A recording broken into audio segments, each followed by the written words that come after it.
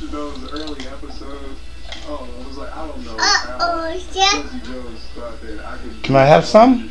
I'm No. Please. words and She, back Please. Away from the camera, and it was like, ah, Can I have some, please? ah, turn it off, turn it off. Can I have some, please? But The Fresh Please. Prince of Bel-Air was a hit when it premiered in the fall Please. of 1990. This is all your fault, man. You got me into this mess. I'd never experienced any kind Please.